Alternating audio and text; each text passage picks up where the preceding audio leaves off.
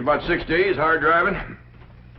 Where are you going with that wood? Oh, Granny wants it on the truck. Put it down. With all the wood we got back at the cabin, we sure ain't going to haul none from Beverly Hills. Oh, she says it's for on the way. On the way? Granny, what in the world are you doing? I'm making sure we don't freeze to death. It's warm here. Won't be when we get in the mountains. You figure to keep that thing burning for us six days? And six nights. Don't forget, it's December every other place but here. Damn blame California. The weather's as mixed up as the people. I'll be glad when I get back where there's some snow and ice. I can't wait to see Ma and Jethrine. Yeah, it'll be my fine Christmas present for your ma and your sister, us dropping in on them like this.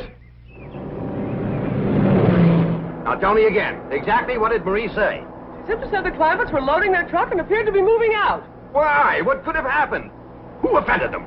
Whoever it was, I'll have them driven out of Beverly Hills. Chief, Chief, don't get so upset. I know a man with $25 million in your bank is... Is that why you think I'm upset? Because Jed Clampett has 25 million in my bank? Isn't it? Of course not. The thing that upsets me is the fact he might take it out. I don't know whatever happened to the key to that door, but I reckon with our stuff out of there, ain't nothing left anybody want to take, except them old pictures. Oh, Miss Hathaway says a couple of them pictures is Rembrandt. All right, after Christmas, we'll see he gets them back.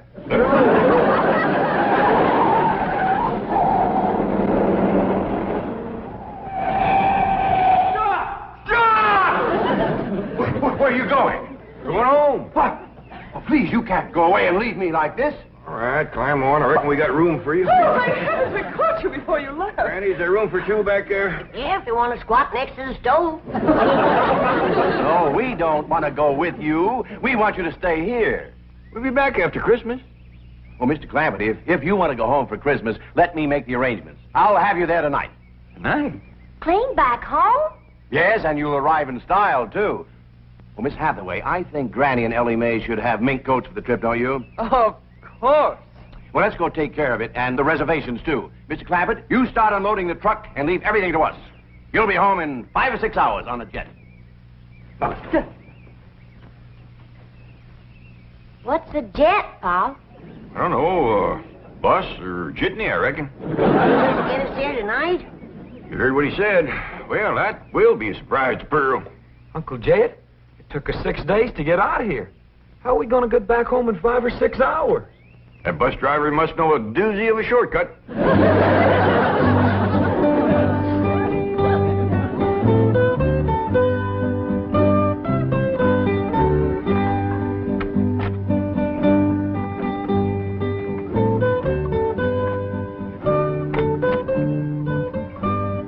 Pat, have we got plenty of champagne and caviar? I guess so. Why? The entire first class section has been reserved for a family of VIPs, the Clampetts. Wow. Young ladies, I presume you've been advised of special arrangements for the Clampett family? Oh, yes, we indeed. certainly have. Here they come now. Oh, get a load of those minks. Granny, Ellie Mae, right this way. I'm sure you'll be quite comfortable in the lounge. This way. Uh-oh. How did they get past the gate? Let's get them out of here before the Clampetts see them. Uh, I'm afraid you're in the wrong section. May I see your tickets, please? Well, I don't think we got any. See, this bus sure is fancy. But you've come to the wrong place. You want the bus station. Now just go back the way you came and ask for the Traveler's Aid. Now they'll help you. Oh, yeah. Oh, thank you, ma'am. Uh, Granny, Ellie Mae, come on. We're on the wrong bus. Mr. Clampett, what's the trouble? This is Mr. Clampett. Of course. Right this way. Jethro? Here, Jethro. Keep the tickets. Now, Mr. Clampett, you have the money Mr. Drysdale gave you. Yes, ma'am. Right here. A limousine will meet you and take you to Pearl's house. And Mr. Drysdale is phoning ahead to Mr. Brewster to be sure your cabin is in order. Well, don't let him give away a surprise to Pearl. Oh, he won't. Well, happy landing, Merry Christmas, and au revoir. Merry Christmas to you, too. And Jethro, here's something for you if you promise to bring it back to me. Take good care of them, and remember, the tall, young, good-looking one is mine.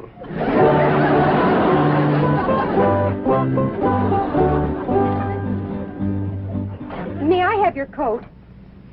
My coat? Please. Well, it's brand spanking new. Oh, I'll take good care of it. Well, it's Christmas. I got my rheumatism medicine to keep me warm. You can have it. Yes, coat, please. Should I, Paul? Well, I reckon not. We don't mind sharing with folks, but when they get grabby and wanting everything, well, we just got to mule up and uh, say no. if you can't afford to buy a coat of your own, here, you just peel off whatever you need. No, no, Mr. Clampett, you misunderstood. We just want to hang the coats up. We don't want you to give them to us. Oh, well, that's very neighborly of you. Thank you very much. Sure. now, if you'll all be seated over here until we get underway. Come on, let's go.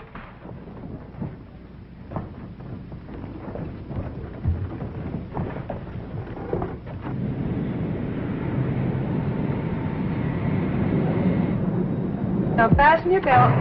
Well, I ain't wearing one, ma'am, just my galluses. I meant your seatbelt. Doggies. This is a fancy bus.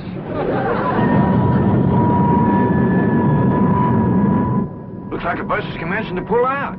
Now we'll see if this bus driver knows an all-fired fancy shortcut. That's you and me watch the road so we can remember it. Okay, Jethro.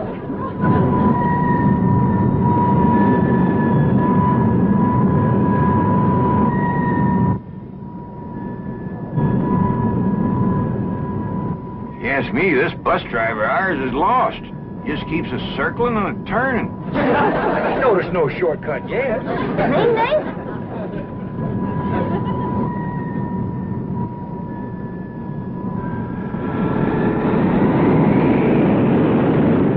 Listen to him erasing that engine.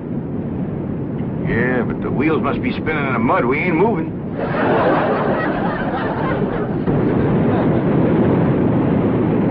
He got her out of the mud. Yeah, we're moving now. Look at this split, too. My dog is if he gets to going much faster, this thing is gonna leave the ground.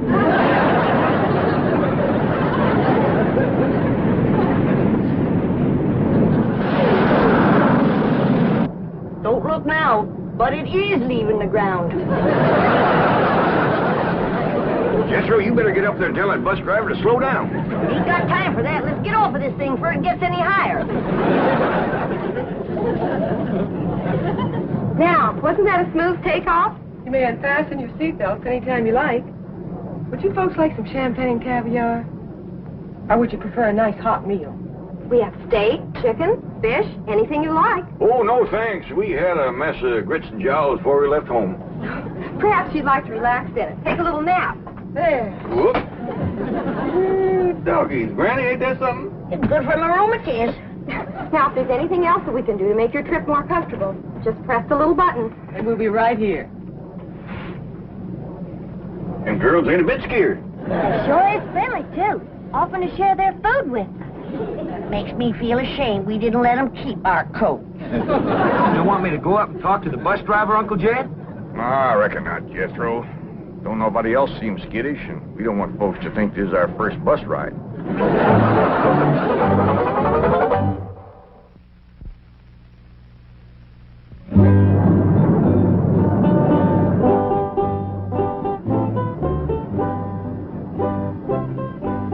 Jed, Yeah, Granny? it sure will be nice to see snow again, won't it? That's the truth. Christmas just don't seem like Christmas without it. And Pearl's house is all especial pretty in the snow. She sure is going to be surprised when we all come tromping in there tonight.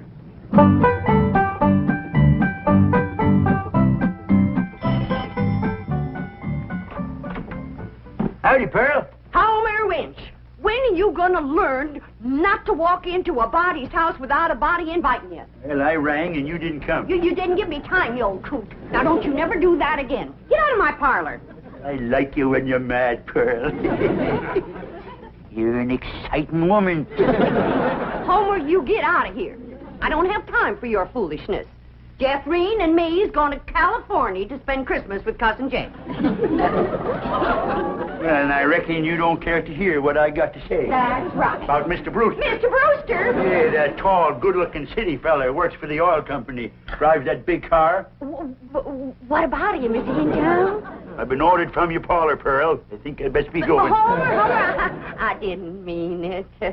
Please, Homer, you tell me about Mr. Brewster, and I'll bake you a sweet potato pie. Well, And for dessert, red haws swimming in elderberry wine. you're an exciting woman, Pearl. tell me. Well, you see, uh, he stopped over at the Emporium to get some cheese and crackers. Said he was going to be over at Jed's cabin alone all day, and he didn't have no food. Thank you, Homer. Merry Christmas. Now, wait, wait, wait a minute, Pearl. You ain't going to do me out of my tater pie, are you? Well, of course not. You get it. Well, when, when? Well, I'll let you know. I'm busy right now. Bye, Homer. Ding, dang, darn it, I done it again. Let some pretty woman twist me around her finger. I hate to go home. Mama's going to give me the ticket.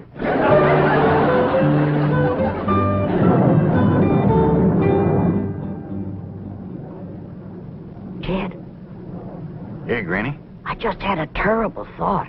What's that? Suppose we get to Pearl's house and she ain't there. Where would she be? Out chasing that Brewster fella, that's where. Ah, she ain't likely to catch him in her horse and buggy.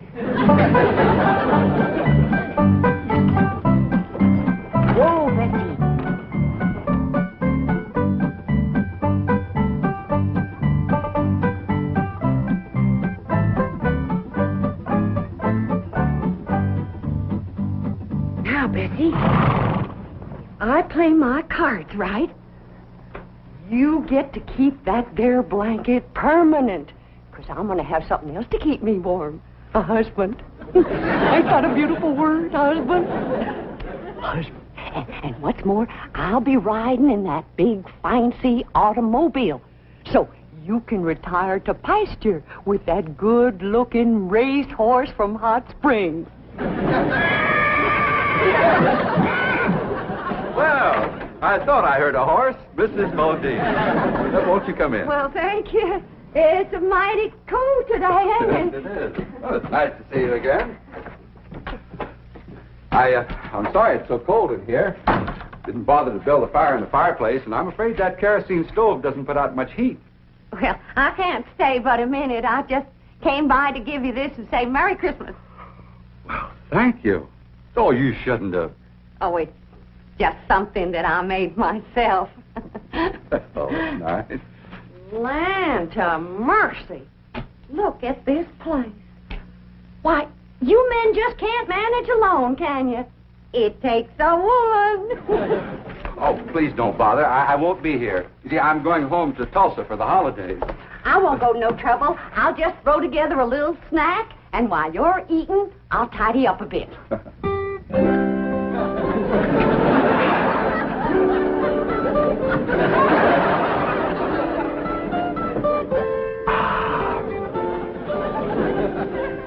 is the most fantastic miracle I've ever seen.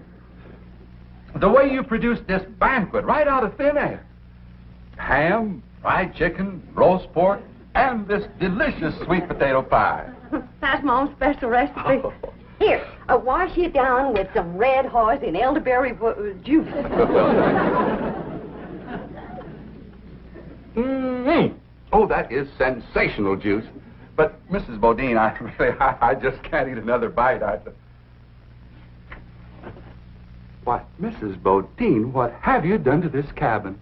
Oh, uh, do you see a difference? And where did you get those curtains? Well, I just run them up while you was eating. Really, you are a remarkable woman. You you cook, you sew, you're a wonderful housekeeper. And, and I love it. It ain't work to me at all. It's pure enjoyment. Mrs. Bodine, I know that this must seem awfully sudden to you, and I, I know you have lots of ties, lots of activities here in the hills, but I was wondering, do you think you could possibly be happy living in a city like Tulsa? Tulsa? That's where you live, ain't it? Yes, I have a very nice home there, but frankly, it needs you, and I think Mother will agree. You want me to meet your mom, mother? Well, actually, it isn't necessary, and I know Mother will approve my choice. You don't have to give me your answer immediately. You just think it over. and- Y- yes, that, that's my answer. Yes. But we haven't even discussed money. I'll give you every cent I make. Bodine, as my housekeeper, I will be paying you. Housekeeper. That's caring for Mother.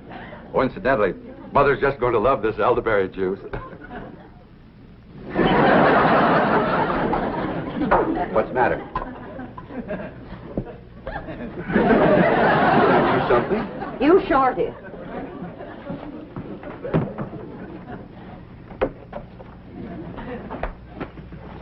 You let me cook for you. You let me sew for you. Hand the ham. You let me house clean for you. Now then, I don't know what it takes to get engaged in Tulsa. But in these here hills, you've done enough to get yourself promised, hitched, and honeymoon. Really, uh, uh Mrs. Bodine, I I didn't mean to. I'm going to Beverly Hills to spend Christmas with my cousin Jed. And when I tell him what you done, he ain't gonna take kindly to it. What, Mrs. Bodine? I give you my word that I. You give me my hand knit socks. Your feet can't get no colder than they are right now.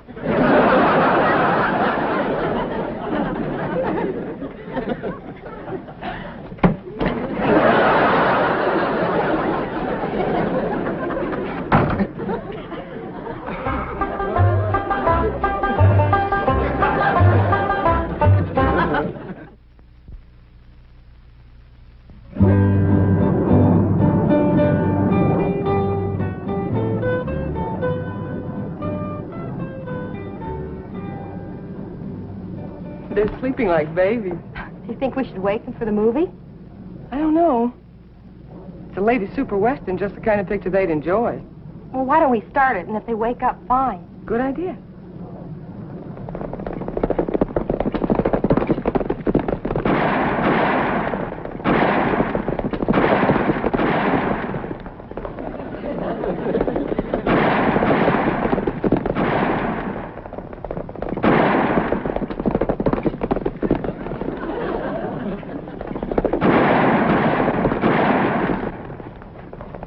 Huh? What? What? We back on the ground. Good. Look through that front window. We're chasing some fellas. They're shooting at us. Exciting, isn't it? Yeah. You was right in the line of fire. What's going on? Whatever it is, I'm getting in on it.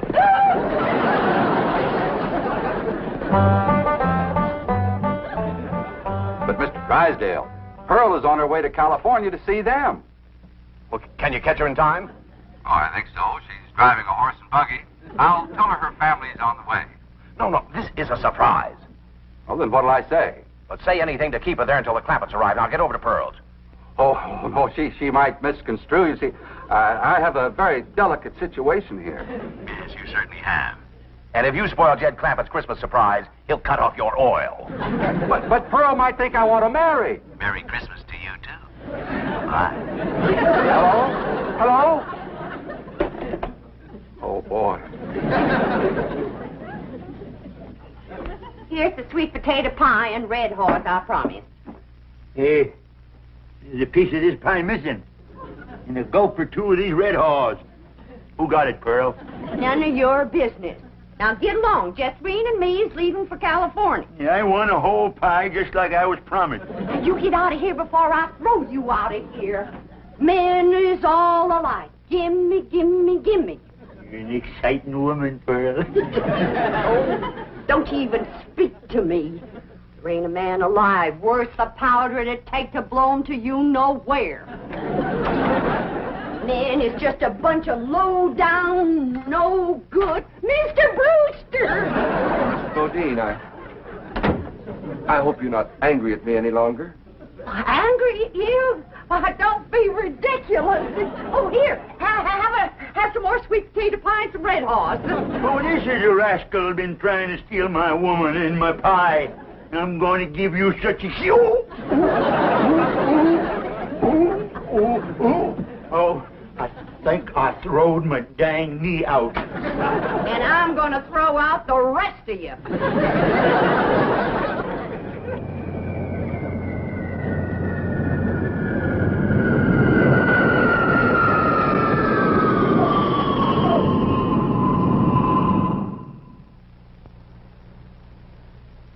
Um, you see, in my business, I, uh, what I mean to say is that I, I'm away from home a lot, and, uh, uh, well, I, I think that a husband should. Uh, that is, uh, what I, what I mean to say is that, in my opinion, I. Could I have another slug of that elderberry juice? No, you cannot. Now then, I've been sitting here for three solid hours listening to you, and you have yet to say one word that a widow woman could get her teeth into. Jethrine, bring the suitcases. Oh, pl- oh, please don't go. I ain't listening to one more word you got to say unless you say it on your knees. Don't come in yet, Jethrine. say it. Please don't go. You are the slipperiest man that ever lived. Come on, Jethrine. You get out of my parlor and you stay out. You want me to throw him out, Ma? He can walk. Homer Winch, is that you again? No, Pearl, it's us.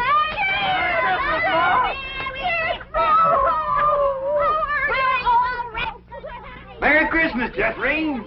Uncle Dad! Why, you have grown. Mr. Brewster, what are you doing? Mr. Clampett, if you'd been just one second later, I'd have been engaged to your cousin Pearl. Go back out, everybody. Please, Mr. Jingle bells, jingle bells, jingle all the way. Oh, what fun it is to ride in a one-horse open sleigh. Dashing through the snow in a one-horse open sleigh. O'er the fields we go, laughing all the way. Tell the bobtails ring, making spirits bright. What fun it is to You're nothing but a two-timer, Homer Winch. Pearl told me about you sparking her, you old rascal, you. You're exciting when you're mad, Granny. hey, how about going for a little sleigh ride with me? You promise to behave? Sure I do. Well, we might as well stay here and sing. You a Merry Christmas. We wish you a Merry Christmas.